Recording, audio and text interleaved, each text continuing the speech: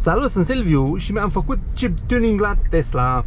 Autorii morale ai acestui lucru sunteți voi toți cei care ați comandat uh, Tesla folosind linkul meu de recomandare și Darius Jula pentru că după discuția avută cu el m-am hotărât să-mi fac și eu chip tuning. Ce înseamnă asta? E bine, mulți dintre voi sunteți familiarizați cu chip tuning-ul făcut la motoare termice, prin care se modifică prin soft parametrii de injecție pentru a obține mai multă putere și sau consum mai bun. Evident, operațiunea aceasta este de obicei făcută neoficial. Puțin producători au oferit în ultima vreme și un chip tuning de fabrică, de obicei însă de tipul Eco, prin care mașina la apăsarea unui buton consuma un pic mai puțin, dar pierdea din putere. Alți producători, nu dau nume, vag, vag, uh, operau pe ascuns uh, chip tuning timbreal pentru a păcăli emisiile, Uh, însă producătorii care ofereau cu adevărat o creștere a puterii oficială, cu păstrarea garanției, mm, erau extrem de puțini și foarte, în cazuri foarte punctuale. La mașinile electrice însă, chip tuning-ul, în sensul uh, larg întâlnit la motoarele termice, nu prea există. Nu te poți duce la un gigel cu un calculator și cu 200 de euro să te trezești cu mai mulți cai putere. Pe de o parte pentru că softurile sunt acum mult mai bine protejate, pe de altă parte pentru că motoarele electrice în sine sunt oarecum mai exacte și nu suportă variații foarte mari. Cu toate acestea, uite că la această Tesla s-a putut. Cum? Oficial chiar. Modelele long range de la Tesla, 3 sau Y, pot beneficia de o opțiune ce se poate cumpăra din aplicație, în cazul de față la un cost de 9000 de lei prin care se obține o accelerație mai bună. Tesla spune că în loc de 5 secunde accelerația de la 0 la 100, aceasta scade la 4,4 după ce vei cumpăra această opțiune. Procesul e foarte simplu, ai intrat în aplicație, ai cumpărat direct opțiunea, ți se iau banii de pe card și când te duci la mașină, țaca-paca, ai mașina mai rapidă. În cazul meu, nu am plătit cu bani, ci cu creditele primite bonus de la Tesla în urma achiziționării de modele Tesla de urmăritori ai canalului ce au folosit linkul meu de afiliere.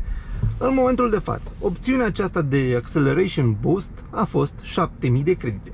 Dacă cineva cumpără o Tesla Model Y folosind linkul tău de recomandare, tu primești 7500 de credite. Deci suficient cât să-ți iei și tu Acceleration Boost, evident dacă ai un model long range. De asta nici nu o să postez linkul meu de recomandare la acest clip, ci vă recomand să găsiți un prieten care are, un, are, are un model uh, Y long range sau model 3 uh, long range și să comandați folosind linkul și să-i faceți practic cadou un acceleration boost. Chiar dacă nu aveți un prieten care are deja un uh, long range, luați unul de pe grupurile de Facebook, că sunt atâția. Căutați pe unul care nu are nicio recomandare și ar fi foarte utilă una. Revenind însă la chip tuning, ce se întâmplă? Deci, practic, primești mai mulți cai. Mm, de fapt, practic, uh, îi primești pe toți cu care vine mașina de la început. Interesant e că pe certificatul de matriculare nu apare puterea maximă, în schimb, în cartea mașinii și certificatul de conformitate afli că, de fapt, mașina are 378 de kW, deci puțin peste 510 cai putere. Doar că mașina pe care o cumperi în standard nu are 510 cai ci mult mai puțin. Chiar mă mir cum de nu au apărut deja știri bombă, cum Tesla înșeală cumpărătorii și nu oferă toată puterea motoarelor. Așa cum se poate vedea, și pe acest test de, făcut pe Dino de la un american, mașina în standard e destul de bine castrată și practic trebuie să-i plătești lui Elon Musk să-ți dea coaile înapoi. Iar graficul e foarte bun pentru că îți arată practic ce se întâmplă în realitate. Până pe la 35-40 la oră nu e nicio diferență și pe urmă, de acolo în sus, diferențele încep să se simtă semnificativ după ce ai făcut chip tuning. De fapt, scăderea de 0,6 secunde pentru timpul până la 100 e obținută doar pe segmentul între 40 la oră și 100. Probabil sub 40 la oră nu a lucrat la accelerație ca să nu canibalizeze prea mult modelul performance și acela să rămână cu cât are 3,3 sau ceva de genul ăsta, nu mai știu exact. Uh, dar ce m-a interesat mai mult decât 0-100, care în practică nu e foarte relevant, am măsurat și repriza de la 70 la 130, care este de doar 3,9 secunde acum, uh, măsurată cu 80% baterie ceea ce e foarte puțin. Din păcate nu am măsurat și înainte de chip, deci dacă cineva poate să măsoare la el și să spună, îl aștept în comentarii ca să facem și o comparație pe partea asta. În rest, cum se simte sau se simte de fapt, păi vă pun din nou graficul și se simte cam, cam grafic. Începe să tragă tot mai tare de la 50 în sus, cu cel mai mare câștig în zona de 100 la oră. Ca senzație subiectivă însă pot să vă spun că acum mașina nu se mai simte grea. Înainte, deși era destul de rapidă, se simțea totuși o mașină grea. Acum cam dispărut sentimentul ăsta. Pe de o parte grație accelerației mai, mai bune și pe de o parte datorită brutalității cu care e livrată noua putere. Mașina e mult mai sensibilă la pedala de accelerație. Și tot ca senzație subiectivă mi se pare foarte multă putere pentru o mașină așa de mare, de grea, de înaltă. Da, știu, are centru de greutate jos, e greu să o răstori, dar tot mi se pare ușor instabilă și parcă pentru așa multă putere o mașină mai joasă, mai mică, mai ușoară ar fi mai potrivit. Așadar, merită până la urmă acest chip tuning?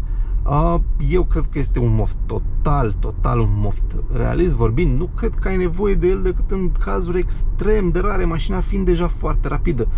Știam de posibilitatea acestui acceleration boost de când am cumpărat mașina, nu aveam de gând să-l cumpăr. Cu toate astea mi-am pus 4-4 la numărul de matriculare, secundele necesare pentru 0-100 după acceleration boost. Poate, poate îmi dau un mic imbold să-l achiziționez. Cu bani probabil nu-l luam. Dar de curând a scăzut valoarea punctelor cu care se achiziționa. Am mai primit și eu câteva de la achiziții recente prin linkul de recomandare și după ce am vorbit și cu Darius care și-a luat și el și a zis că se simte binișor, am zis hai să-mi satisfac și eu un moft. Ar fi fost însă util ca în mașină, în secțiunea de accelerație, pe lângă chill să fi rămas și normal, cum era înainte, și să se adauge sport, nouă accelerație. Au scos însă normalul și a rămas doar chill și sport. Da, hei, calul de dar o să-i crească însă valoarea de revânzare, oricum vreau să o dau și pe asta după un an. Uh, mi-am făcut și dublau între timp, garanția a rămas, Elon Musk își mai face și el niște publicitate moca cu clipul ăsta al meu, toată lumea fericită, nu? Ba, chiar și faptul că există niște cai putere disponibil pe care nu-i oferă decât ulterior prin upgrade, deja e o chestie întâlnită la Tesla, poate cine știe, într-o zi se trezește bine Elon Musk și oferă acceleration boost gratis la toată lumea, cum a făcut de exemplu cu scaunele încălzite pe spate. E, între timp, dacă vă plac totuși mofturile, puteți să încercați și voi.